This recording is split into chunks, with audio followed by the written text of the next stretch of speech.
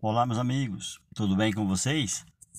Pessoal, um dos vídeos que eu vou mencionar hoje para vocês é que muitas vezes as pessoas desistem da sua criação de peixe porque não pegam uma noção correta de como criar. Então, hoje eu vou dar uma dica aqui para vocês. São três dicas importantes de como você criar os seus peixes para você não ter perda e você conseguir criar bastante peixe no seu sistema.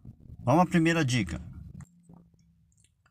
Se você seguir direitinho essas três dicas que eu vou te falar, você vai conseguir criar bastante peixe. Veja, são três dicas, são muitas, mas só vou dar três hoje. A primeira é a boa limpeza do seu sistema. Fazer uma boa decantação, uma boa filtragem, isso é imprescindível. Primeira dica é essa, limpeza. Querem ver a segunda? Segunda dica, oxigenação. Muitos erram na oxigenação, pessoal.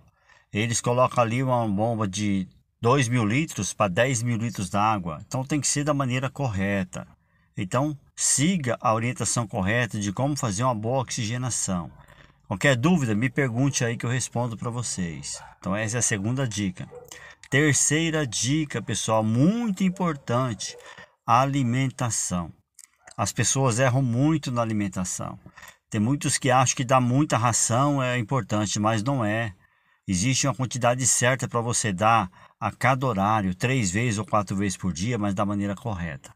Então, se você quiser seguir essas três dicas, pode ter certeza que você vai conseguir aí criar bastante peixe.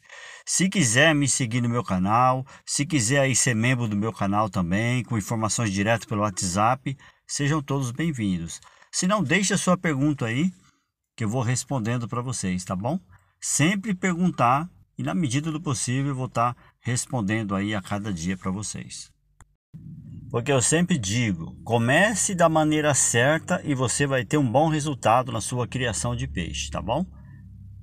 Um abraço a todos vocês do Claudeiro canal Peixe é Show, galera. Valeu, um abraço a todos, até o próximo vídeo.